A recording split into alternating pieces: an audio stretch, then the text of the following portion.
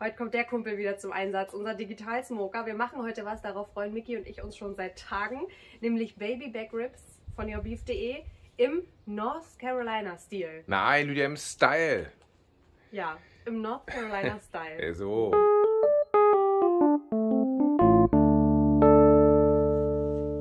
Ich drücke auf an. Ja, Ne? Ganz genau. 40 Minuten muss der unbedingt immer vorheizen, das ist die Preheat-Phase. Ja, jetzt bin ich mal gespannt, ob du dir das jetzt Nee, ich einstellen krieg's da kannst. immer nicht. Mensch, jetzt stehen ja lauter Nullen. Und jetzt? äh, Jetzt muss ich aufs Thermometer, oder? Mhm. Und jetzt? Jetzt musst du so weit nach oben fahren, ist er bei 93 mal vorher gestellt. Ach so, guck mal ja. Mehr als 135 hat er ja nicht, also wird dann die Preheat-Phase kommen. Da. Aha, Und jetzt drück drauf. hier aufs Genau. Thermometer. Ja. Und dann hast du gehört, jetzt fängt er an. Was du jetzt aber nochmal machen kannst, ist ähm, die Roste rausholen, die wir benutzen wollen. Und natürlich die Smoke Chips einfüllen, weil die Preheat-Phase ist dafür da, dass er jetzt schon mal mit dem Smoken anfangen kann. Wir machen nämlich heute zwei Kilo Baby Back Ribs, weil unser Nachbar nochmal Geburtstag hat. stimmt, ja. Liebe Ja. Grüße an den Rund. Griller haben es sehr gut. Man weiß als Griller immer, was man den Nachbarn schenken kann zum Geburtstag. Oh ja. Freuen sich alle über Fleisch, über was Gutes. Lydia, was nimmst du denn jetzt überhaupt für Smoke Chips? So, der hat mein Mann rausgesucht. ich habe nicht drauf geguckt. Kastanie habe ich genommen. Ah, das ist schön. Mm. In North Carolina wird hauptsächlich eigentlich mit Walnussholz oder Hickory äh, gesmoked. Na toll, weichen wir jetzt schon ab vom Weg. Äh, Wir hätten sogar Walnussholz. Aber weißt du was? Ich finde tatsächlich bei Rippchen Kastanie am allercoolsten. Ja? Kastanie, finde ich, ist super intensiv und trotzdem so süß wie, wie Fruchtholz. Also, liebe Amis, wisst ihr Bescheid, ne? Ja, macht ihr, das. Ihr macht da einen Fehler Ja. bei euch. Wir machen jetzt den Brandenburger Style.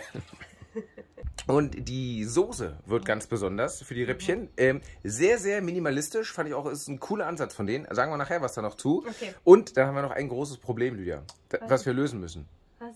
Und zwar, wir haben, wir, weil Krautsalat gehört dazu. Ich weiß, was das Problem ist. Genau, wir haben gestern vergessen, das zu kaufen. Heute ist Sonntag. Genau, wir haben gestern noch dran gedacht. Wir saßen im Auto und haben es vergessen. Aber ich habe schon auch Lust drauf. Ja, und jetzt, es geht doch nicht ohne. Jetzt so, haben wir angefangen, okay, okay. wir müssen das machen. Jetzt ist deine Mission heute, Lydia, noch ein, äh, so einen Kohlkopf ranzukriegen, damit wir den Leuten zeigen können, wie echtes North Carolina Rippchen-Gericht aussehen kann. Also so ein Krautkopf hat auch nicht mal einer äh, mal eben bei den Nachbarn vorrätig. Ja, das ist jetzt deine Aufgabe. Ach guck mal, hast du mir alles hier schon vorbereitet. Korrekt. So, guck, ich habe noch Löffel und hier so ein Küchentuch, weil man muss die Silberhaut erst noch abmachen. Mhm. Miki, ich mach auf und du sagst, was in diesem äh, Paket alles drin ist. Sehr, sehr gerne. Das ist nämlich das äh, Mega äh, Baby Back Rib äh, Paket, wie auch Mega Barbecue Extra Deluxe Uns Paket. gehen die Superlative da nicht aus. Nee, ich, ich weiß nicht genau, wie es heißt, aber irgendwie so heißt das auch. Und äh, natürlich für unseren Fleischsteller des Vertrauens, äh, unserem lieben Partner yourbeef.de, da müsst ihr wirklich jetzt mal vorbeigucken, weil ähm, das, was Lydia da gerade rausholt, ist eine Packung. Davon sind drei Stück drinne. Das sind also insgesamt drei Kilo Baby Back Ribs, die da drin sind. Plus dazu dieses wundervolle ähm, Gewürz von äh, Jörn.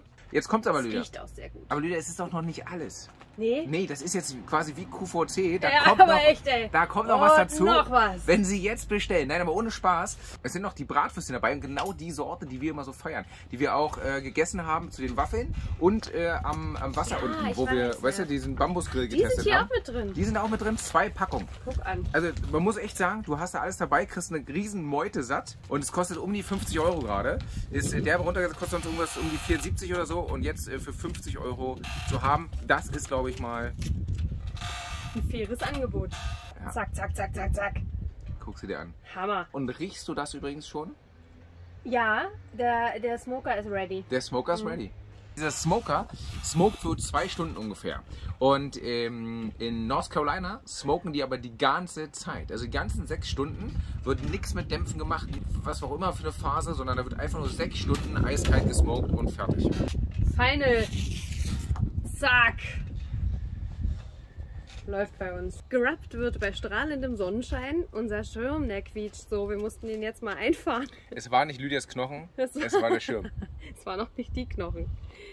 Ja. So, Miki, meine Hände sind immer noch eingesaut im Ich helfe wahrsten dir. Sinne des Wortes. Bitte Natürlich. streu mir was drauf. Ja, und diesmal ist es so viel cleverer, dass wir nicht nur für unseren Nachbarn das diesmal machen, Ja. sondern für uns auch mitmachen. Stimmt. Das hätten wir beim letzten Mal einfach auch machen sollen. Oh, jetzt sind die so. Oh, ich mach die so samtig, die Rippchen. Für was müssen wir noch sorgen, Lydia?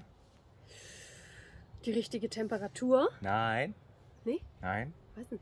Den Salatkopf. Ach ja, oh, Ja. der Krautkopf. Der Krautkopf. Aber wir müssen das kriegen. Ich bin sehr neugierig, weil die machen diesen Coleslaw da in, in North Carolina, nicht in South Carolina, mit Ketchup. Ne? Ja, ja, Ketchup. ja.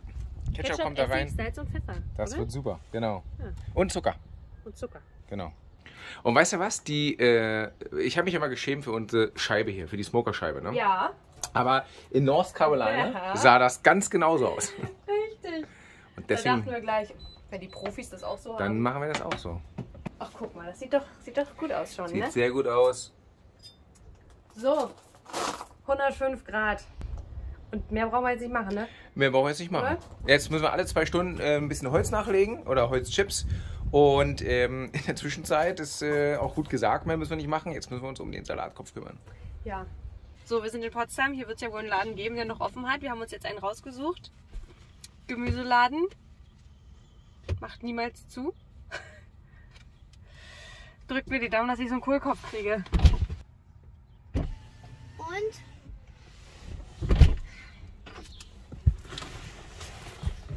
Ich habe keinen Weißkrautkopf. Pass auf.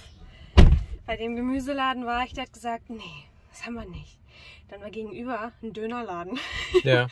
Bin ich an die Tür, habe gesagt, Entschuldigung, ich habe mal eine irre Frage. Habt ihr vielleicht einen Weißkrautkopf, den ich euch abkaufen kann? Und da hat er gesagt, ja. Ich so, oh geil, jetzt geht er nach hinten und holt so einen Weißkrautkopf. Und dann kam er wieder mit einem Eisbergsalatkopf. Ich so, nee, das ist das Falsche. Ist das nicht das gleiche? Weiß Eisbergsalat? Ja. Salat und Weißkraut ist so ein ganz fester. Ach so, ja, Entschuldigung. ich glaube, es hackt. So, Freunde, es ist passiert. Wir sind jetzt ungefähr vier Stunden unterwegs. Also wir haben natürlich so ein paar Erledigungen gemacht und haben immer wieder nach Weißkraut Ausschau gehalten. Und jetzt habe ich bei unserem Dönerladen direkt zu Hause um die Ecke einfach mal angerufen, habe gefragt, oh, ich habe eine schräge Anfrage, habt ihr Weißkraut? Einen Kopf, den ihr uns verkaufen könnt. Und der Typ hat gesagt, ja, haben wir da. Kommt vorbei. Ich bin gerade nicht da, aber mein Kollege weiß dann Bescheid, der gibt euch den. Ja. Da schnackt sie erstmal jetzt mit den Leuten im Dönerladen. Sehr gut. Ey, das war ein Ausflug. Ich kann euch sagen. Aber wenn man etwas wirklich will. Dann kriegt man es auch. auch. Soll ich in der Zeit schon mal die Soße machen? Ja, bitte. Wie machst du die denn? Richtig ordentlich Tabaluga-Ketchup rein. Es geht auch nur der. Das ist, weil der nicht so viel Zucker hat, tatsächlich. Genau. Im Ruhig Vergleich. rein da. So, bis es einmal dieses Geräusch macht. Es gehört Essig rein. Dann gehört im Original Zucker rein. Wir nehmen dafür aber Ahornsirup, weil wir das noch schöner finden. Zack. Und jetzt nur noch Salz und Pfeffer, Lydia. Und dann umrühren. Ach ja, und eine Sache habe ich vergessen, Lydia. Was denn? Da weiß ich gar nicht, wo ich mir das hingestellt habe. Äh, ein Glas, äh, da muss noch Wasser rein. Ach, hier ist es ja.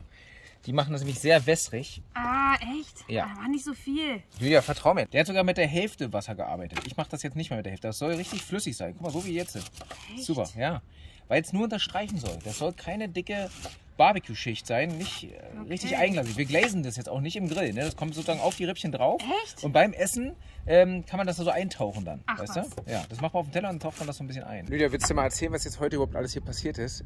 Auf der Suche nach diesem Krautsalat. Ja, also wenn wir mal ehrlich sind, wir sind ja losgefahren, weil wir einen Anhänger abgeholt haben bei den Schwiegereltern, um den voll zu krachen mit Gasflaschen. Ja, brauchen wir ja immer zum Grillen. Wir fahren also los und haben links und rechts immer geguckt nach Krautsalat. Na, ihr wart ja dabei.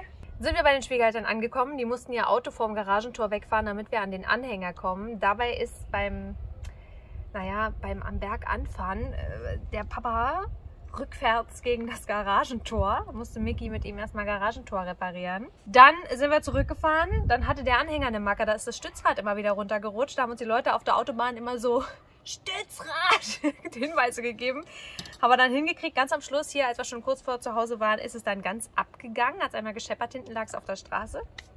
Also wirklich, und der Smoker hier in der Zeit, ne, wir waren Stunden weg, hat sein Ding gemacht. Hat sein Ding gemacht. Ganz zuverlässig. Normalerweise äh, hat der gesagt, äh, dort bei North Carolina, das Geheimnis ist, dass es viel, viel kleiner sein muss. Das ist eigentlich wichtig. kleiner? Noch viel, viel kleiner. Ey, weißt du, wie groß die Stücke sonst sind, wenn ich Krautsalat mache? ja, aber das muss eigentlich viel kleiner sein. Aber egal, wir machen das jetzt da ran und dann haben wir so ein können die Rippchen rausholen und sind fertig.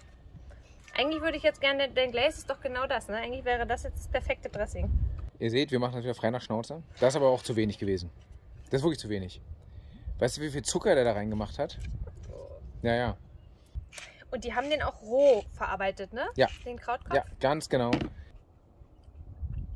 Ich hätte gerne ein bisschen weicher.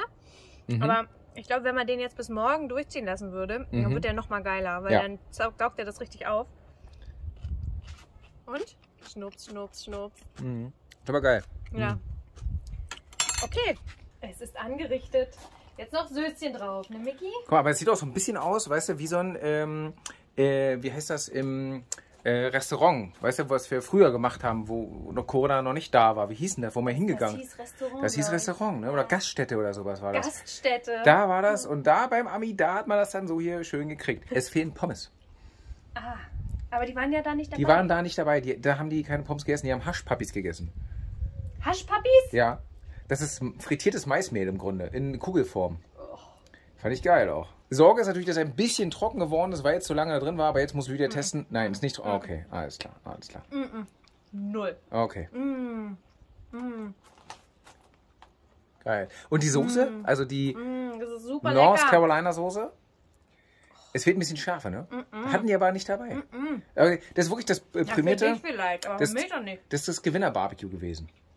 Ich weiß jetzt- warum. Ja? Ja. Geil. Dann gehe ich jetzt mal ausliefern und du kannst schon mal anfangen zu essen hier.